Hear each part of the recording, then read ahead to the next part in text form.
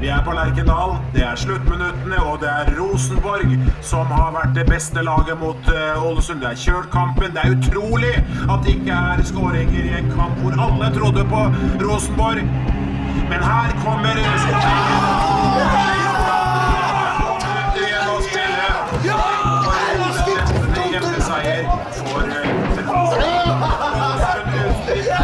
Nei, gutta, jeg skal ha tilbake de penga jeg lagt ut, altså.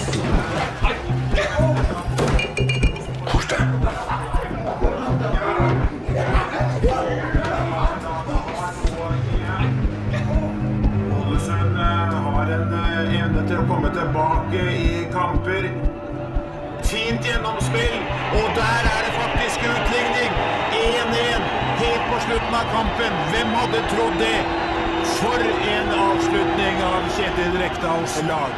1-1, og Kjetil Rekdal har all grunn til å være fornøyd. Minutt igjen, er ikke det? Og dommeren blåser faktisk av kampen, slik at eh, resultatet blir 1-1 mellom Rosenborg og Ålesund. Nesten utrolig ultra. Hva faen du lurer?